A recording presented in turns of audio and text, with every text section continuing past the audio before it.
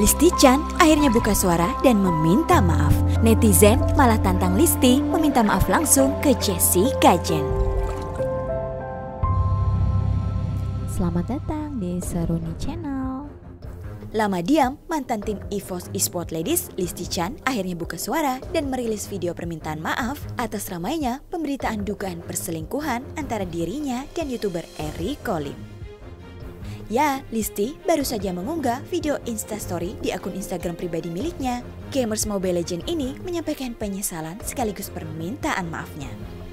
Dengan suara pelan dan sedih serta wajah pucat, gadis dengan rambut berwarna hijau ini menyapa followersnya dengan permintaan maaf karena perilakunya telah mengecewakan banyak orang. Lebih lanjut, dirinya juga mengucapkan terima kasih untuk saran dan kritik yang diberikan selama ini untuknya usai skandalnya menjadi viral di media sosial. Listi juga tak lupa menyampaikan terima kasih untuk orang-orang yang masih mendukungnya hingga saat ini. Halo teman-teman semua, hari ini aku mau minta maaf ke kalian semua. Maaf sudah ngecewain kalian.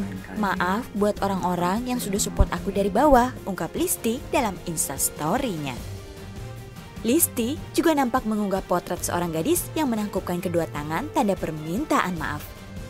Tak hanya itu, meski tak secara gamblang menyebutkan, namun Listi mengungkapkan bahwa ia telah meminta maaf secara langsung kepada diduga Jessica Jen dan orang-orang yang menurutnya telah tersakiti melalui personal chat.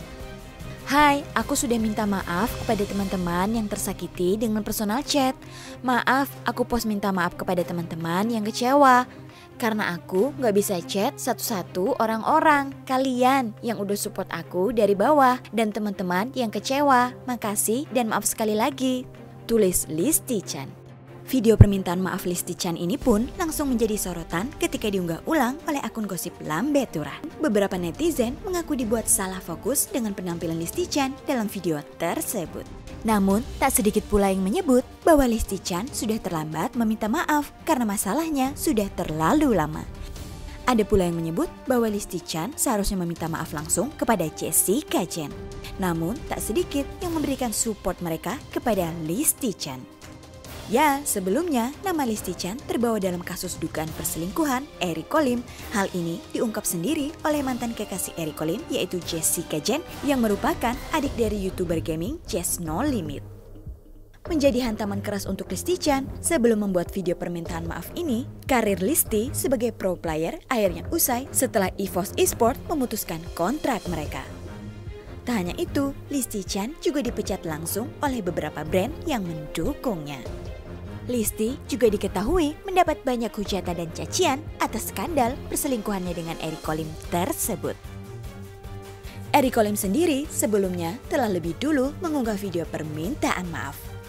Sementara itu, Jessica Jen, mantan kekasih Eric Kolim, nampaknya telah move on dari kasus dan cinta segitiga antara ia, Eriko, dan Listi Chan. Jessica kini nampak asyik dengan konten-konten YouTube yang kini kerap menampilkan keterampilan memasak adik Jess No Limit tersebut. Wah guys, kita doakan saja semoga semua baik-baik saja ya.